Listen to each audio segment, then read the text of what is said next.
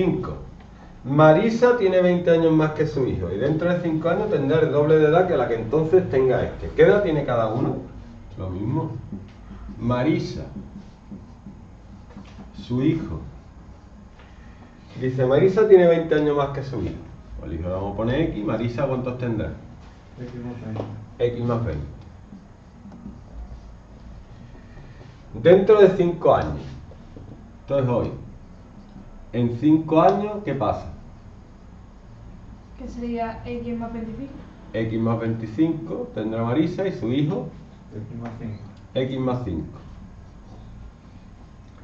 Dice, dentro de 5 años tendrá el doble, es decir, que la edad de Marisa será el doble de la que tiene el hijo. Esto ya lo hemos Yo hecho. siempre lo que me di, ese me ha salido, pero me dio un montón en tengo que ponerle el doble. La edad de Marisa, la edad de Marisa es el doble de la edad de su hijo.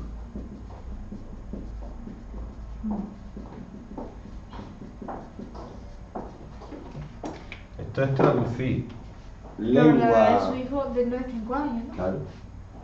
Yo lo que he sacado ha sido que al más pequeño que hay que ponerle el doble o el triple. No. Eso es una regla que no vale para todos los problemas. No vale para este problema. Aunque te pidan el triple o el cuádruple. Pero tú tienes que entender por qué. Si no entiendes por qué, si te ponen uno distinto ya no vas a saber hacerlo. Esas no son reglas reglas que valgan.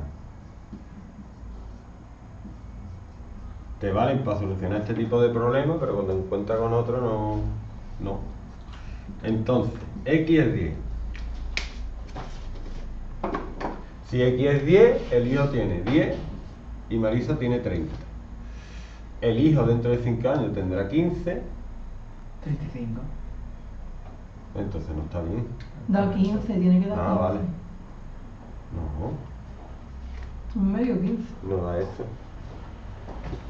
Es que has copiado mal, has puesto X más 20 en vez de X más 25. ¿Lo ves? No, Dice mira, en Marisa- cinco, es que has Sí, puesto sí. en la edad de hoy de Marisa en vez de la edad en 5 años de Marisa. Mm, verdad.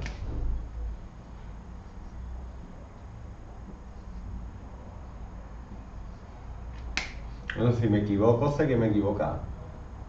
Me da cuenta. Si X es 15, Marisa tendrá 35. Dentro de 5 años tendrá 20 y este tendrá 40. Efectivamente, esto es el doble de esto.